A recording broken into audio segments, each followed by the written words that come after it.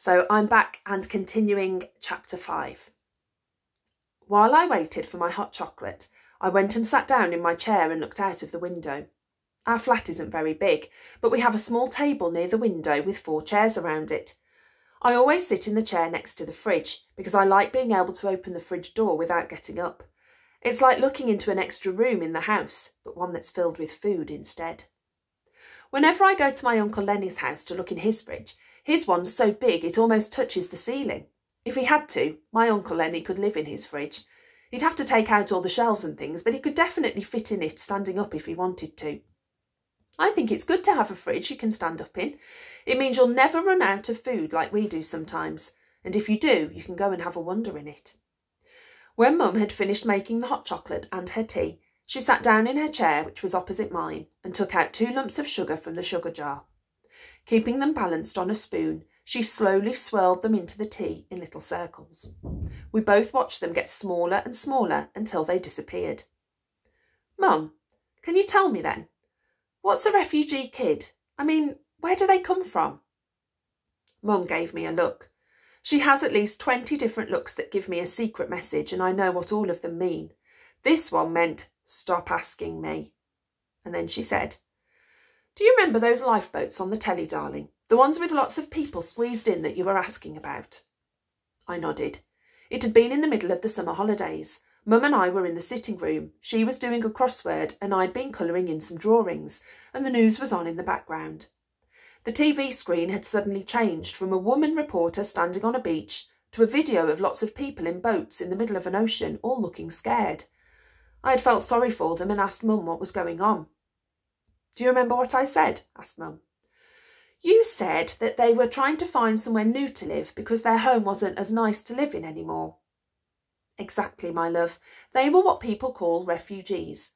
And children like the new boy in your class are called refugee kids because they've had to leave their homes and travel very far to try and find a new house to live in.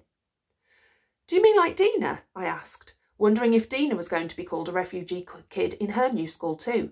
She had to move to Wales because her mum and dad couldn't find a house in London. Mum shook her head.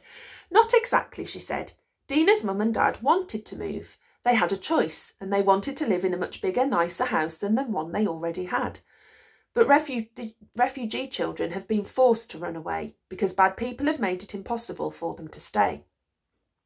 Those bad people drop bombs on their houses and destroy all the beautiful parts of their cities, and the places where the refugees used to live have become so horrible and scary that they can't live in them any more. So they walk for miles and miles and get into boats to travel to countries they've never been to before and go to strange places they don't know, just so they can find somewhere that's safe enough to live again. Oh, I said quietly. I wondered what the refugees had done to make the bad people so angry. Last year, two first graders in school had tripped over Brendan the bully to get back at him for chasing them, which made him so angry he smashed open their lunch boxes and stomped on all their food.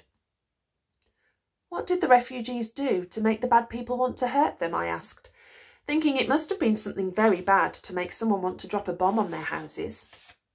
Mum shook her head. Nothing at all, darling. The bad people are just much stronger than they are and like to feel big and powerful by bullying them. You see, some people think that by taking things away from other people and hurting them, it gives them more power. And the more power they have, the more they want and the greedier they get. So they go on hurting more and more people until everyone wants to run away. Just like the bullies at school, I said, feeling angry. Well, I guess it is sort of like that, smiled Mum, except the bullies the refugees are running away from are a lot bigger and far more horrible. They force people to leave everything they ever had behind, even the people they love the most in the world. I thought about the new boy and felt sorry for him. Maybe he had been forced to leave behind lots of things he loved the most in the world, and that's why he didn't talk to anyone and needed so much seclusion. I tried to think of what I would leave behind if I had to run away from the bullies, but I couldn't decide. All I know is that I could never leave my dad's record player behind, or his favourite hammer, which is still in the bottom kitchen drawer. Mum got up and took her mug to the sink. Now, I know you want to make friends with this new boy, but you mustn't be too eager. He'll need lots of time and space first, okay? I nodded, even though I didn't really understand what she meant. If I was the new boy, I would use all my time to make as many friends as I could, especially if I had just run away from bullies that were bigger and more horrible than the school bullies. I wondered if I should tell my mum about the, all the lemon sherbets and white mice and the orange with the smiley face I'd given him, but then she said, The world has never been kind to refugees, in a sad way. She sounded just like she did whenever she talked about my dad. So even though I wanted to ask at least four more questions, I decided not to say anything else. Now, Drink up and off to bed, and I'll come and tuck you in in just a few minutes. Mum came and ruffled my hair. She always ruffles my hair when she wants me to think she's happier than she really is. I drank the rest of the hot chocolate as quickly as I could and ran to bed. Mum only ever tucks me into bed when she's home early, so this was a special treat. I love being tucked into bed, even more than I love beating everyone else in a race or scoring a goal.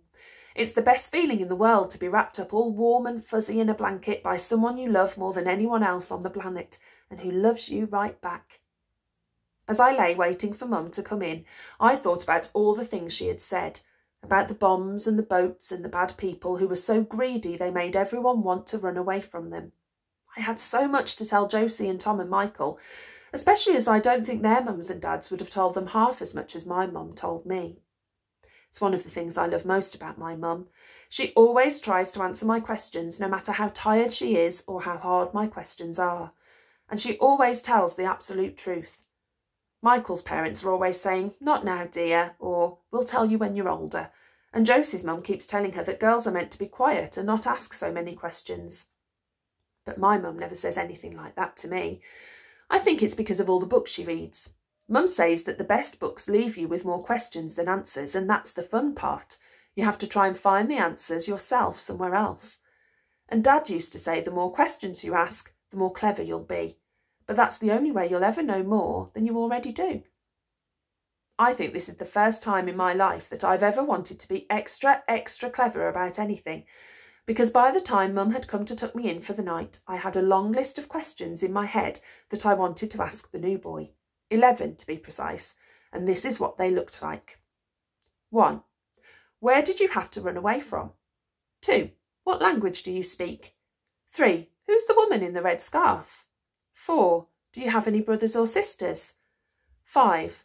What did the bullies do to make you run away? 6. Did you have to get on a boat like the people in the news? 7. What sports do you like best? 8. What's your favourite fruit?